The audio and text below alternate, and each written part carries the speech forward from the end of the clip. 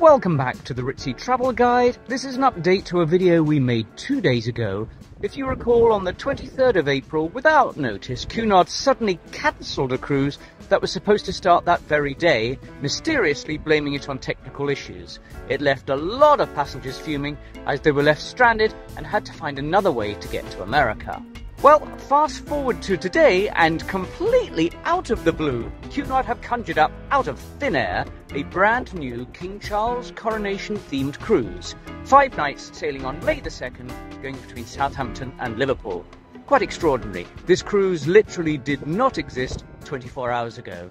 I can only assume they think they will fix this mystery technical problem before then. Well, it will be fascinating to see if any of those stranded passengers from a few days ago feel the same and actually book the cruise. Keep subscribed to our channel for more cruise news.